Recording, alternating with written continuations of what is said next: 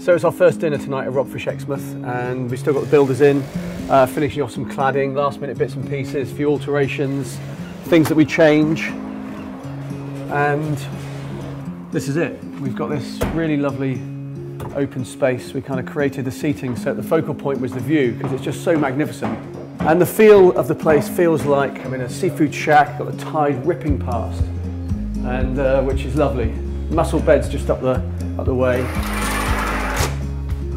view of a building site right now, but imagine that in the summer, just looking out to that lot, it's just fabulous. And uh, log fires roaring in this dining room. And then the best part is coming out to this deck.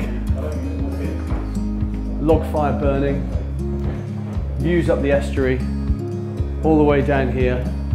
Everywhere you sit in this room, you just have a view of the ocean and that wonderful tidal race that is out there.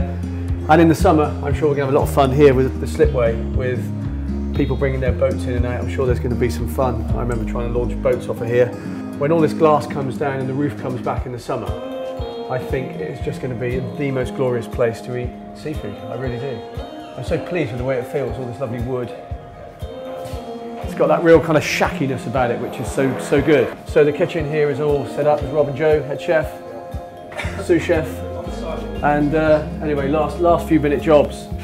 But this is the section that's transformed the kitchen. So not only are we, we frying, cooking chips every day, we're char grilling Dover soles and scallops and squid on the plancha.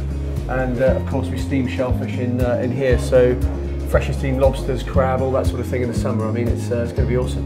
Building the restaurant is only one part of it, of course, training everybody, getting everyone really kind of buzzed up about what we're doing, giving them knowledge about our food and wine, of course, getting the chefs working with the front of house. There's been a lot going on. We had our first lunch yesterday, it went exceptionally well, some great feedback, and uh, I think we've got a really amazing team in the kitchen here. Every time we open a rockfish, I sort of fall in love with it and it becomes you know my new best favourite. Of course, I love all of them, they're all in such great locations, but I particularly love uh, this tide ripping past the log burner, and I reckon this is probably going to be my favourite place to eat seafood this summer.